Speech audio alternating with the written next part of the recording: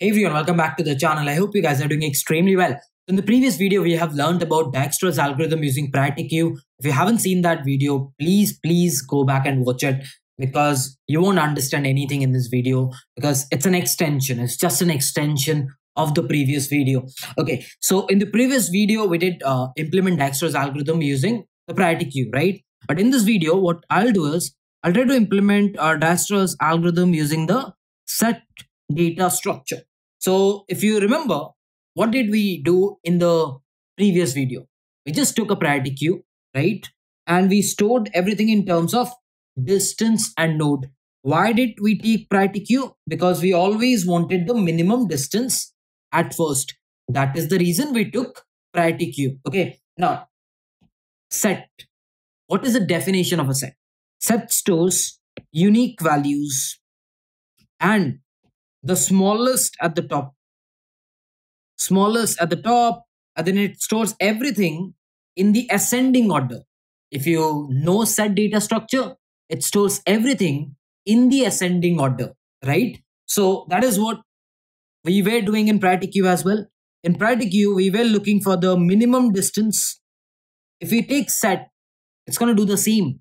If you look at the topmost element it will always be the minimum guy because set stores everything in ascending fashion.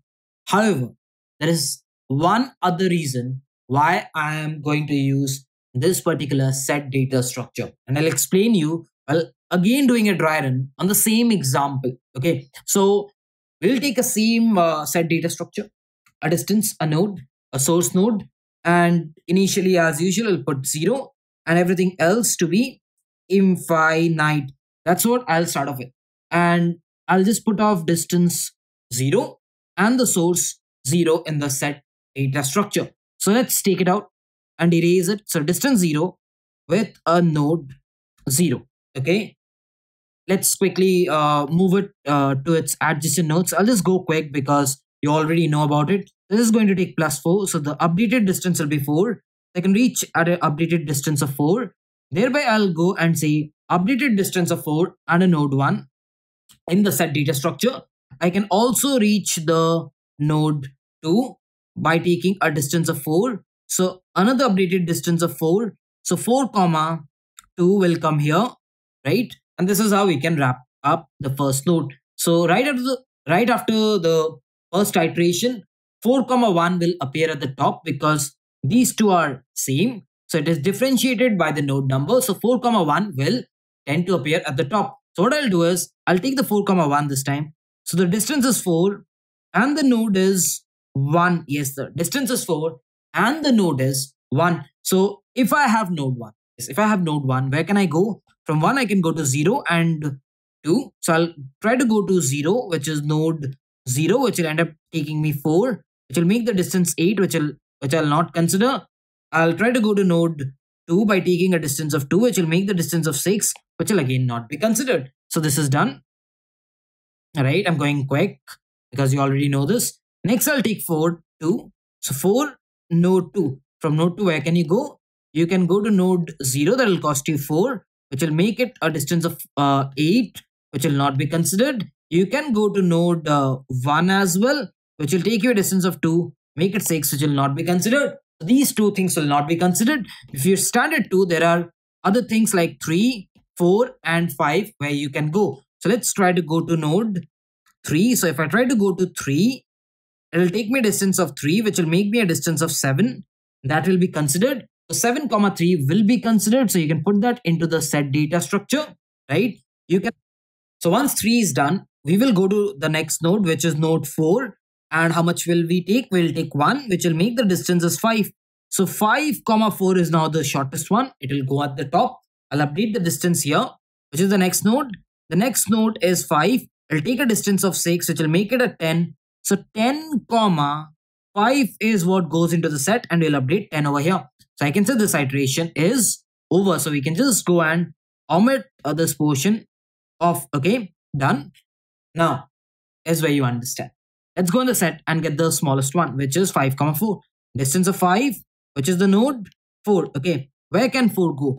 4 can go to 2 if you carefully see in the graph, which will take it a distance of 1, which will make it a 6 which is not to be considered but from 4 you can go to 5 which is going to take 3 plus 3 is what it will take to go to 5 which will make it 8 and this is why you see previously 5 was reachable at 10 not infin- infinite.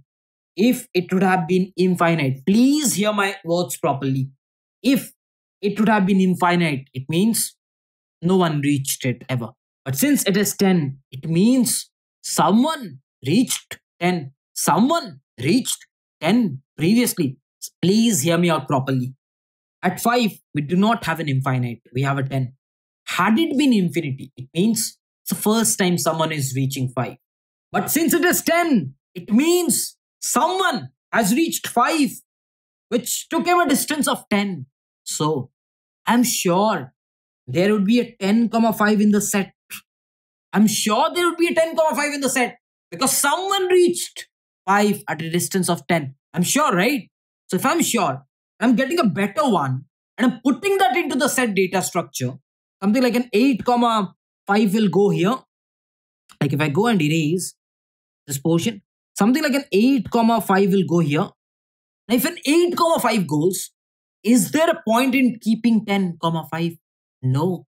This is where you say i know the set will have a 10 comma 5 set please erase it. priority queue cannot erase. priority queue will do the iteration. But set will say i have a liberty. I can do this erase operation. I'll go and erase it. The moment i see there's a better alternative i'll definitely put in 8 comma 5 but before putting in i'll say there's no need of 10 comma 5 i can reach 5 in a much much better distance. And if i can reach 5 in a much much better distance why don't i use that better distance? Why will i end up using 10 i don't need extra iterations. I don't want uh, i don't want in the future that uh, this happens like just a minute. I don't want in the future that I, in the next step probably i'll get 8 and i'll do for 5 and then again i'll take 5 and do it 10 that won't be of any use because if 8 was taken prior to 10 it would have given me the shortest distance. There's no point in taking 10. This is why I'll use set. I'll use set to erase. Very important. I'll use to erase already existing paths. Already existing paths. Does it uh, improve the time complexity? Very, very minorly. Not much. Very, very like depends on the graphs, but uh, it's better that you use set because even set will go as uh, even if you do an erase set dot erase is a logarithmic operation. So now can i say that if i use set uh, it will be a better complexity than priority queue no. Why? Because set dot erase ends up taking a logarithmic time. So you are probably saving up on iterations in the future which might not be but you are erasing it so erase takes log n so you're investing a log n, and in the future, you're saving some iteration. So depending on the size of the graph, a lot of things will depend. So you cannot explicitly tell me that set is better than priority queue or priority queue is better than set. Both of them can be used because it'll be hardly a minor difference. So this is how you tell to the interviewer that these are the cases where I can use, these are the cases where I cannot use. If you tell the interviewer with such concept clarity that you know ev- like almost every bits and pieces, you will be impressed and tell him you learn from Take U Forward. Uh, cool. Uh, I hope you've understood the algorithmic implementation. Now it's time to code it up. I'll be coding the C++ on the right and the exact similar Java code is on the left. So we are given uh, the vertex, uh, the adjacency list, and the source. So set of pair go and declare a set of pair because it's going to store set of pairs and please make sure you declare a distance array of b v comma an infinity which is 1e9 in our case. Perfect. Initial configuration set always stores what? 0 comma s yes. And distance of s equal to 0 same thing while just keep on iterating in the set.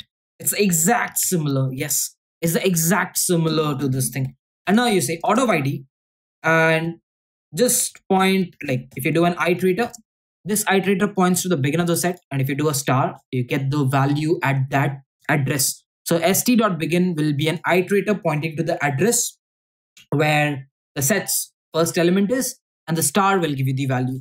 So I can say the node is nothing but it dot second and I can say the distance is uh, id dot first.